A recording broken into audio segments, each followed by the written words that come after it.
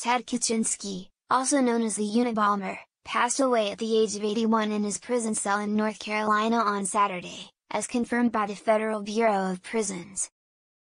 Kaczynski had been serving a life sentence without the possibility of parole for a series of bombings that took place across the United States, resulting in the deaths of three individuals.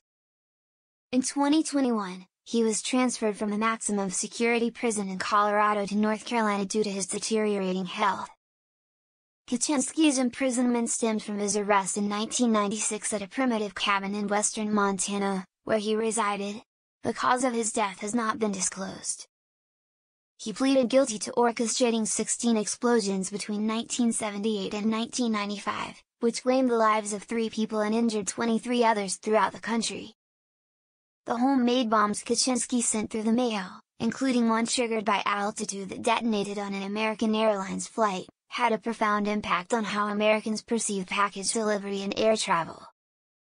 In 1995, Kaczynski's threat to blow up a plane departing from Los Angeles during the July 4th weekend plunged air travel and meal services into chaos.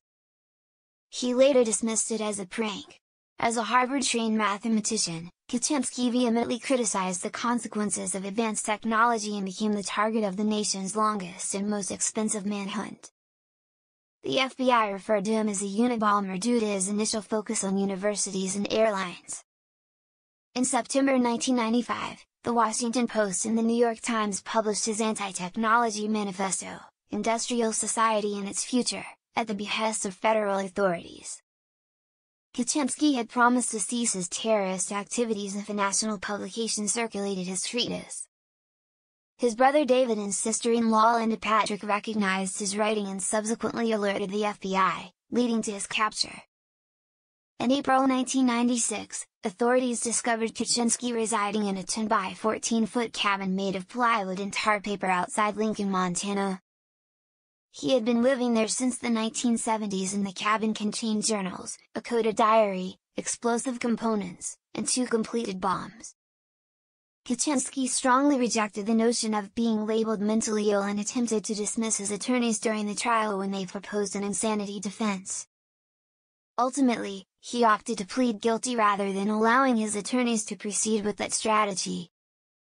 And his personal journals, which were released by the government during the trial at the request of the victims' families. Kaczynski described his motivation as simply personal revenge. I often had fantasies of killing the kind of people I hated, i.e. government officials, police, computer scientists, the rowdy type of college students who left their beer cans in the arboretum, etc., etc., etc., he wrote.